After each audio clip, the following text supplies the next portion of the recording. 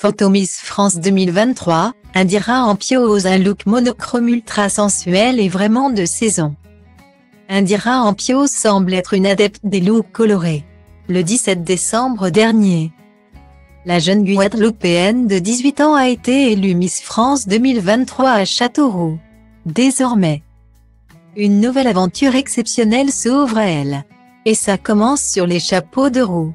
Indira Ampio multiple les apparitions publiques et les interviews.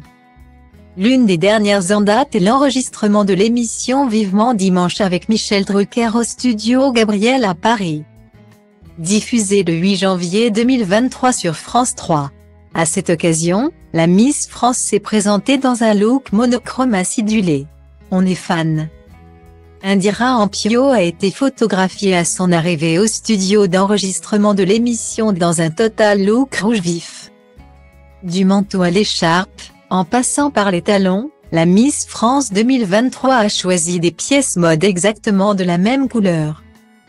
Sous son long manteau arrivant à mi-genou, la reine de beauté a adopté un col roulé basique et un pantalon taille haute fluide. Côté accessoires, Indira Ampio a enfilé une paire de talons avec un détail argenté sur le devant. Et en période de froid, une écharpe est toujours bienvenue autour du cou. Le rouge est souvent assimilé au danger et à l'excitation, mais c'est également la couleur de la sensualité. Des recherches montrent même qu'une personne habillée de rouge serait perçue comme davantage attrayante par rapport à une tenue d'une autre couleur. À savoir qu'universellement, c'est sans doute la couleur qui capte le plus l'attention. Ce choix de couleur invite à l'engagement, évoque chaleur, énergie et dynamisme.